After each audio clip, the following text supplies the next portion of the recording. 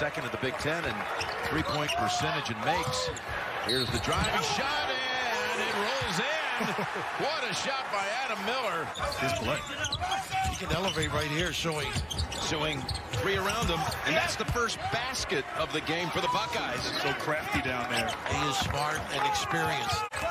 Kid, everything he does has a little sauce on it. On it. Like Right there, just like that. And one. They've been handling this really nice. Nice show by Liddell. He is clever with that pull-up game. Oh, how about that handling of the basketball to free himself? Wow. But a couple of times. He's been bigging. Oh, Frazier faked everyone out. Banks it in. Good as that ball fake. Staggered the D. Key now.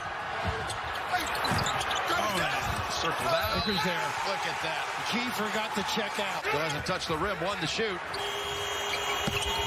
Got Oh, away. Georgia got away. Did he do it again? Yes! And another foul.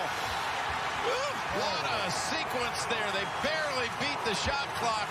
Year long has been on fire. Georgia Tech, what a great story. Justin Heston and his guys have put together a sensational run at the end. There's Washington with a three right over Miller. He just hits big shots. I knew you'd get the Duke guy in. Washington. The game is tied at 65, And what's incredible, which they haven't done once in this game. Walker leans in, puts it up. Ohio State in front. Interesting having this, the guards screen one another. Develop to the corner. That's his corner. He owns it. You're not He, kidding. he, they got to put a toll sign up there for him. closing part of the game. He's not being aggressive. A little passive right here. He needs to attack. Oh, he's going to just launch it. How about that? Why not? Now, before the game, he was practicing from half court. Sueing with 21.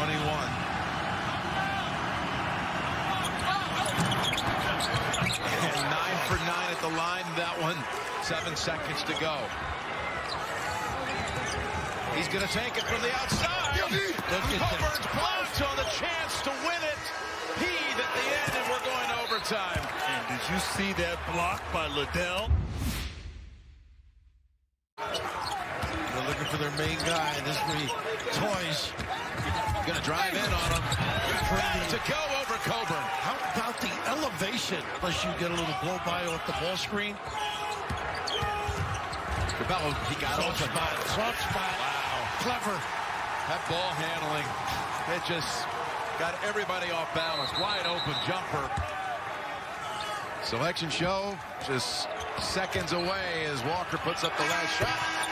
It counts to make the margin three. 91-88.